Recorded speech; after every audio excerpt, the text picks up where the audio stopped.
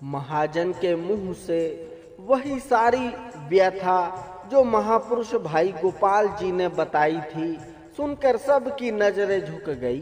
भाई गोपाल जी कहने लगे, तेरा नौकर सुखमणि साहिब जी पढ़ने के फलस्वरूप सीधा स्वर्ग को गया है।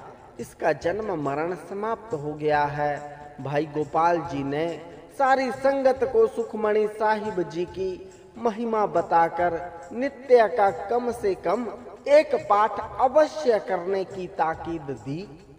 श्री गुरु अर्जुन देव जी ने महापरोपकार करके यह पवित्र वाणी कल युगी जीवों के कल्याण हेतु रची है। सुखमणि साहिब जी की वाणी से जो प्रेम करे, गुरु उसका जन्म मरण तो समाप्त करता ही है। एक अन्य कितनी बड़ी बख्शिश की, इससे पितरों का भी उद्धार हो जाता है। पितर कहते हैं, घर के वह बड़े पूर्वज जो पहले ही धरती से जा चुके हैं, यदि उनके प्रति सुखमणि साहिब जी की वाणी का पाठ किया जाए तो निरंकार को इन जीवों की आत्मा का भी कल्याण करना पड़ता है। चाहे वह।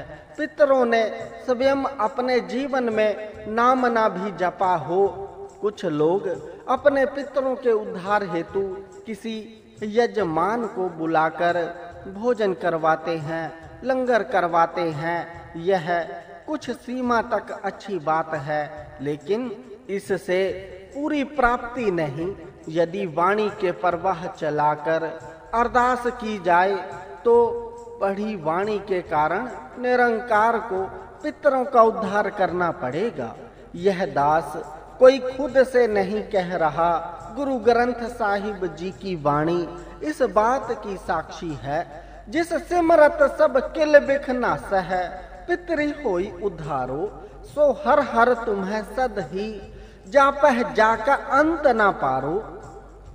दृढ़ बात है यकीन वाली घर में से कोई एक भी बंदगी वाला शरीर हो, वाणी से प्रेम करने वाला हो, उसके कारण उसकी 21 कुलें तर जाती हैं।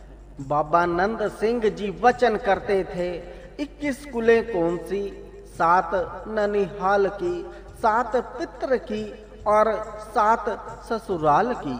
शायद कुछ लोगों के मन में यह आशंका उत्पन्न हो गई हो कि एक के कारण 21 कुलें कैसे तर सकती हैं? गुरु गोविंद सिंह जी के समय की ऐतिहासिक साखी भी इस बात की साक्षी है।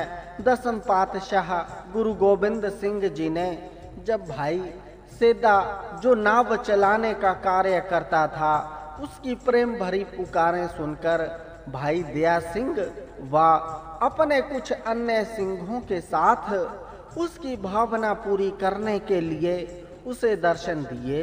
उसकी नाव में अपने सिंहों सहित बैठ गए और कहा, हमें दूसरे किनारे ले चल। भाई, सेंदा, प्रेम में भीगा। जब नाव को लेकर दूसरे किनारे पहुँचा तो गुरुजी ने मोहरों की थैली उसे देनी चाहिए लेकिन भाई सिंधे ने विनती की, हे सच्चे पातशाह, यह मोहरों की थैली मुझे नहीं चाहिए। सतगुरु जी कहते, फिर क्या इच्छा है?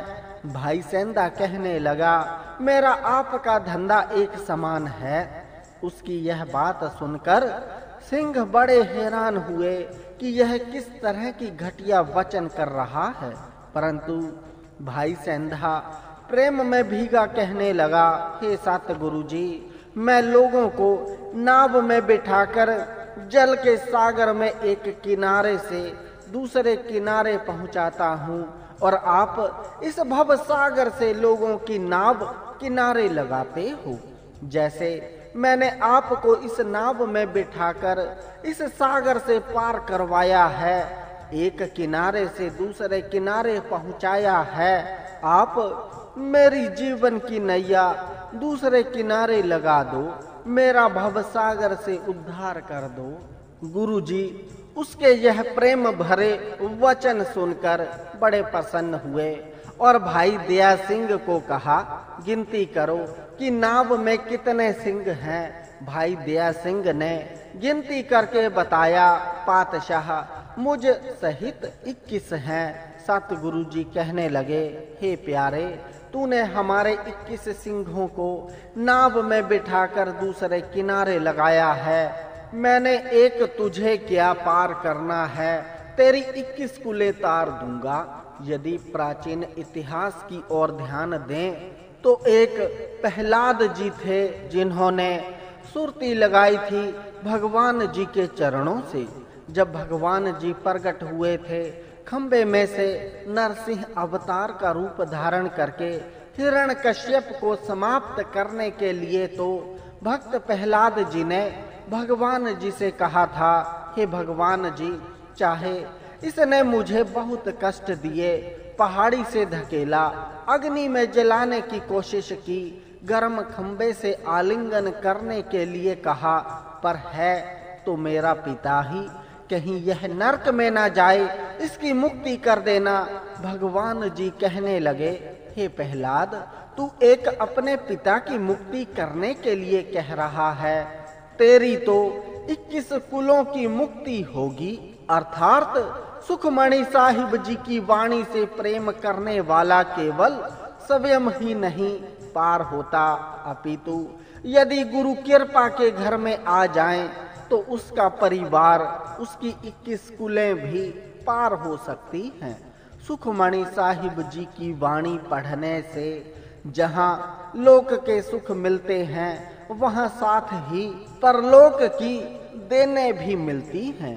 कई देवी देवता लोक के सुख दे सकते हैं, परंतु जब भविष्य संवारने की बात आती है, मुक्ति की बात आती है तो वह कहते हैं, यह हमारे वश में नहीं, परंतु सुखमणि साहिब जी की वाणी दोनों सुख देती है। लोक के भी, परलोक के भी सुखमणि साहिब जी की वाणी की चौथी महानता। श्री सुखमणि साहिब जी की वाणी जन्म मरण के बंधन भी समाप्त करती है। चौथा, श्री सुखमणि साहिब जी की वाणी का एक पाठ प्रतिदिन करने से जन्म मरण के बंधन भी समाप्त हो जाते हैं। हमारा यह प्रयास तो ही सफल होगा।